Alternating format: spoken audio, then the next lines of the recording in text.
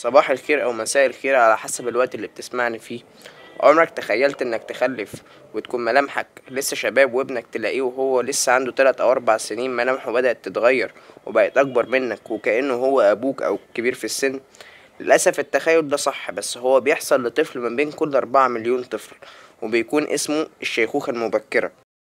في سنة ألف تمنمية ستة وتمانين تم تشخيص أول حالة شيخوخة مبكرة. وكانت أعراضه إن في السنة الأولى بعد ميلاد الطفل بيبدأ يحصل تباطؤ ملحوظ في نمو الطفل وبيبدأ شعره يقع بيبدأ شكله بياخد مسار الشيخوخة.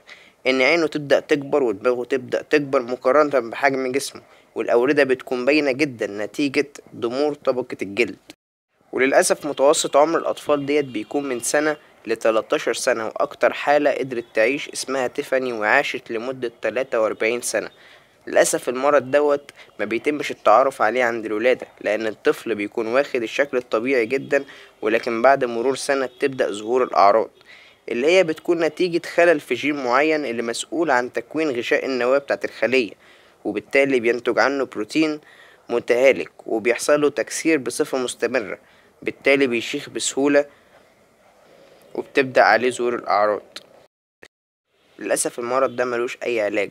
لكن الأطباء بيبتدوا يعالجوا إن هما يعدلوا في النظام الغذائي إن هما يقللوا الكوليسترول. بالتالي إن هما يقللوا معدل حدوث الجلطات الدموية اللي هي المسؤول الأساسي عن وفاة الأشخاص دول.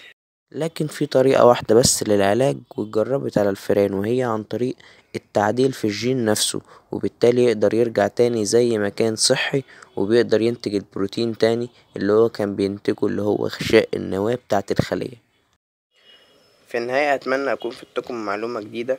لو عايز تقرأ أكتر عن الموضوع هتلاقي المصادر في ال description. ممكن تقرأ أكتر عنه. لو عندك أي فكرة ممكن نعالج بيها المرض ده ممكن تكتبها لنا في التعليقات نفكر فيها مع بعض.